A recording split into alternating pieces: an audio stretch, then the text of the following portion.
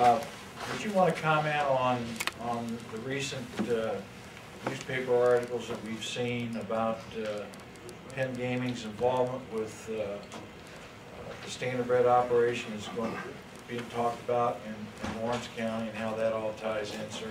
Yeah, as it's been reported in the newspaper, uh, we have been in, in negotiations with the folks who hold the harness, the last harness license in Pennsylvania.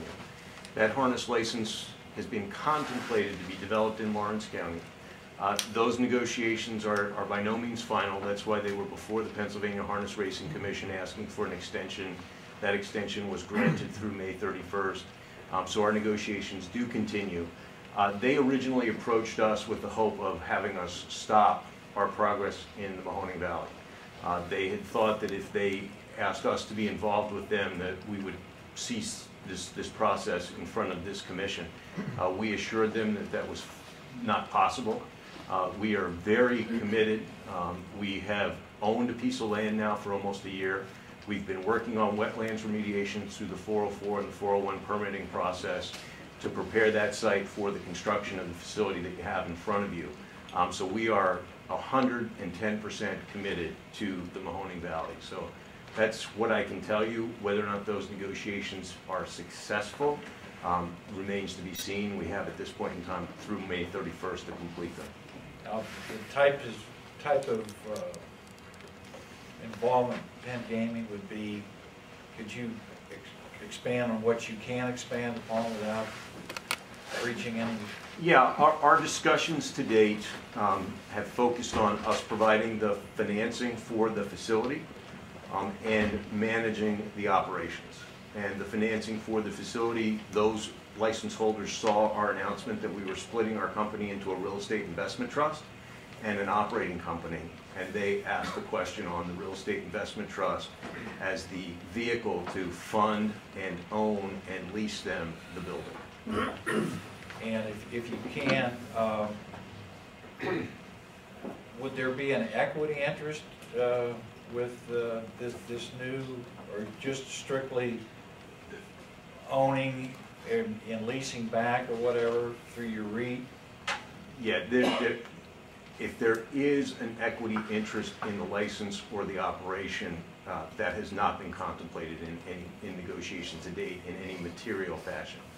Um, so if there were, it would be an immaterial amount. So could you square up Penn Gaming's involvement, if this were to come to fruition, having a track that's, you running a track that's a standard track twenty-five miles away from where you're making a substantial investment, plus your seventy-five million dollars and whatever, how that, how that squares up? Yeah, we, we think that if they are managed commonly by a common operator, a common manager, um, we can highlight the attraction of each facility.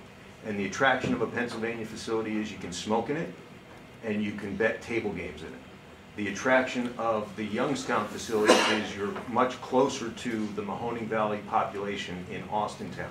Um, so that by having a same manager, you can market in different directions rather than beat up against each facility. So that from a a Pennsylvania perspective, you could market and focus the facility more heavily into the northern Pittsburgh suburbs rather than west across the Ohio border. So we think there are advantages to both facilities uh, that help stabilize operations in both facilities if they were to be commonly managed.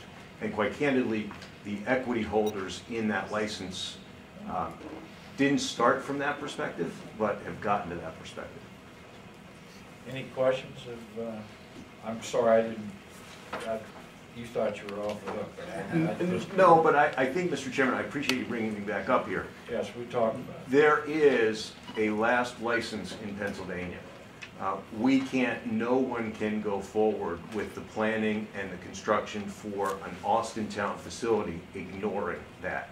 Um, So when you hear comments like the overall population is 550,000 people, which is not adults, that's total people, and recognize that there is the potential for another facility that as the crow flies is about 18 and a half, almost 19 miles away, um, that also tempers how much capital either party can invest in their facility.